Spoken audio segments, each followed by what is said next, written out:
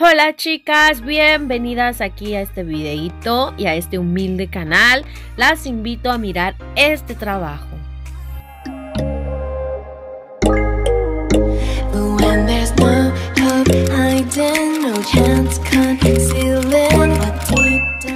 Bueno, mis chicas, pues comencemos con este video. Como ven y como les he platicado, estas son las manos de mi sobrina. Ella es una niña de 13 años, bueno, niña, muchacha, no sé, adolescente, como le quieran decir.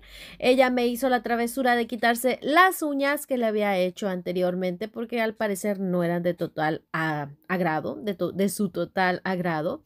Entonces, por ahí van a estar, vamos a estar mirando unas marcas de que pues ella se las alcanzó a retirar, eh, así a lo salvaje le vamos a decir, este, y pues ahí se aprecian y se alcanzan a notar, entonces pues bueno, le dije, ok, pues vamos a trabajarte un nuevo diseño, no me tocaba hacer video porque todavía tenía días para poder trabajar sobre él, pero ella parece que, no sé, le entró el aburrimiento, no le gustó, vayan ustedes a saber. Entonces, pues bueno, aproveché que se las había quitado para grabar este video desde, lo, lo grabé desde el jueves, creo, o el viernes, algo así.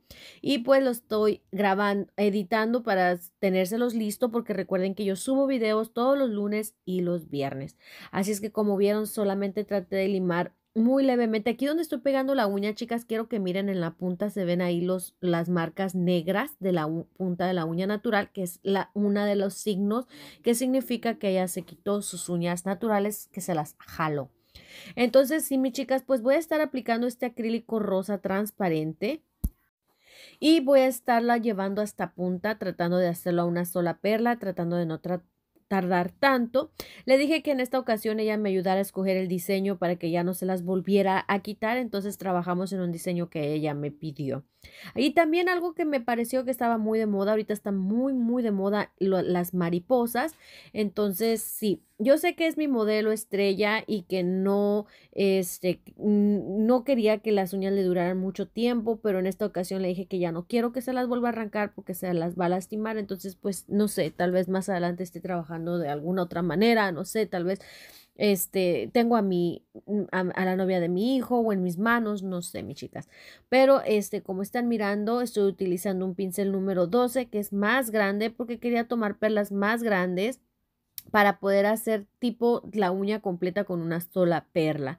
Ahorita como ya está el tiempo de las, del calor a todo lo que da, gracias a Dios ya se nos vino el calor, pues el acrílico se maneja mucho mejor, como ven no escurre demasiado, está más seco, más manejable, igual este lo puedo extender hasta punta tratando de ser este más rápida y ya nada más al finalizar le doy otro grueso, otro otro más grueso u otra perla en punta y pues ya la uña se trabaja un poco más rápido así y la verdad es que en el tiempo de frío el monómero se me escurre demasiado y siento que tardo más, pero miren aquí lo pude manejar muy bien.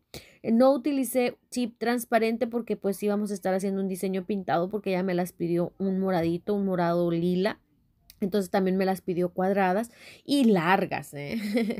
bueno, pues entonces es lo que estoy trabajando. Lo primero que hago es limar a los lados. Y ahora en esta ocasión, chicas, sí les tengo que decir que traté de, de hacer una mejor preparación.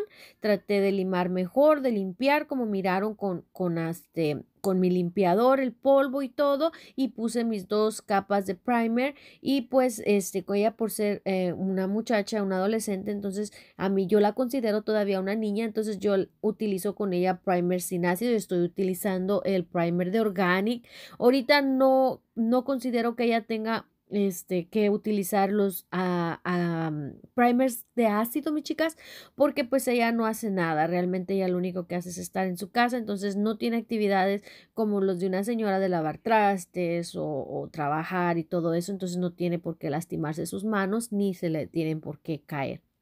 Entonces, este, utilicé el primer de Organi, por ahí me, me, estaban escribiendo en un video que si no lo había probado, sí lo he probado, sí me gusta, pero igual, igual quedan muy bien pegadas, igual manera las uñas se tienen que cuidar, pero pues yo tengo por ahí de repente clientas que son amas, este, perdón, campesinas que trabajan en el campo, eh, que trabajan entre plantas, entre la tierra y que tienen movimientos muy, muy bruscos en los que yo tengo que hacer que sus uñas les duren un poco más de tiempo y es por eso que utilizo el primer con ácido. También tengo clientes que limpian casas y que pues por esos motivos yo trato de que sus uñas les duren más tiempo. Por eso siempre cuando viene una muchacha a mi casa siempre les trato de preguntar a qué se dedican para yo saber qué es lo que debo usar con cada muchacha. Bueno, pues aquí como vieron ya limé, ya todo el proceso siempre se los muestro, siempre se los explico en todos mis videos, mis chicas, pero aquí ya entonces comenzamos con el diseño y voy a estar utilizando el 121 de Gelixir, que es un morado bajito, muy bonito. Y lo voy a estar aplicando en diferentes eh, uñas. O sea, haz de cuenta que dos uñas van a ir completas y las otras dos van a ir con el diseño muy de moda que es un, un francés en B. Y el dedo del anillo o el dedo, pues sí, el dedo del anillo lo voy a estar haciendo este con un tipo marmoleado, chicas, es como un tipo marmoleado, eh, pero van a mirar más adelante cómo lo voy a estar haciendo. Es muy, muy fácil. Y, ah, pero lo que hago es poner una base de gel de glitter, que en este caso voy a estar usando los geles de glitter de Gelixir, que vienen como en un tarrito. Yo así le llamo como un tarrito, un botecito con tapadera, porque estos salieron súper pigmentados. No pigmentados, sino que tienen el glitter súper espeso.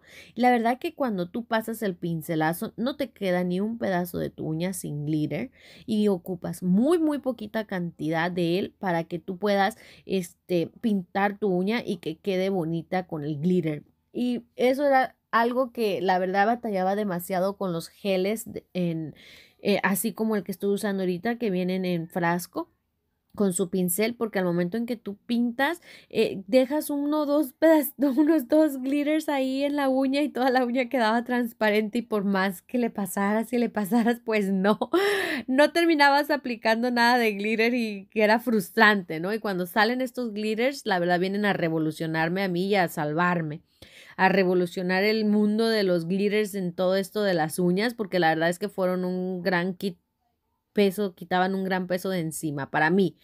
Ya después pues conocí más trucos de cómo poder pintar las uñas con esos geles que les he contado, que ya también les he mostrado en mis videos, con una brochita, de esas con las que uno se maquilla, también uno le puede sacar jugo, pero pues en aquel tiempo yo no sabía.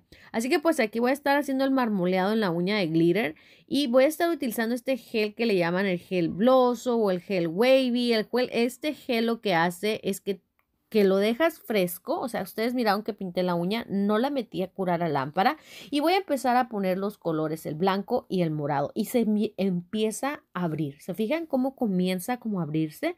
Recuerden que no lo curé, está fresco, empiezo a poner los colores y ellos empiezan a expandir. Entonces hace este efecto como de mármol o como, o como sí, como marmoleado, no sé cómo ustedes le puedan llamar, difuminado y se mira muy muy bonito y alcanza a lucir el glitter por debajo en los huequitos donde no haya pintura. Entonces la verdad es que se ve súper bonito. Voy a estar usando el gel painting este de organic para hacer la base de la, de la mariposa. Para empezar, lo primero que hago es pintar la negra, orillarla nada más Chicas, aquí yo la verdad les voy a ser bien honesta, no es que yo ya sabía cómo hacerla, sino que lo hice como cuatro o cinco veces, la borré hasta que me gustara cómo me estaba quedando. Lo que único que estoy haciendo es orillarla, porque después la voy a estar pintando por en medio con el mismo glitter que utilicé para la uña del dedo del anillo, que es el de Gelixir de tarrito. Ese mismo gel voy a estar usándolo para, ah, vamos a decir, rellenarla la media, esta es media mariposa, la otra media mariposa la tiene el otro dedito como miraron al principio del video, así es que lo único que estaré haciendo es rellenarla y cuando puse el negro lo curé en lámpara, chicas, yo lo curé solamente por 30 segundos y este glitter lo voy a estar aplicando en toda la uña y también lo voy a curar. Yo tengo una lámpara LED de 38 watts, chicas. Yo a mí me preguntan mucho que qué lámparas se recomiendan. Yo les recomiendo que sea una lámpara LED de 35 watts para arriba. Buenísima. Entre más watts tenga, mejor les va a secar su gel.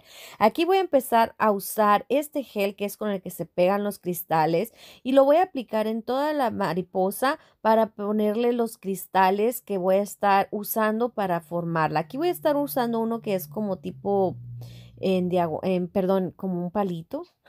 es, una, es un cristal, ahí ustedes están mirando qué cristales estoy usando. Y ya todos los demás, son los únicos más grandes, ya todos los demás van a ser puros cristales pequeños. Y estoy utilizando cristal número 4 y los demás más grandecitos, creo que eran 10 o 12, algo así, no recuerdo bien. Pero los más chiquititos sí sé que son número 4 y con ese voy a rellenar toda la mariposita para que quede ese brillo.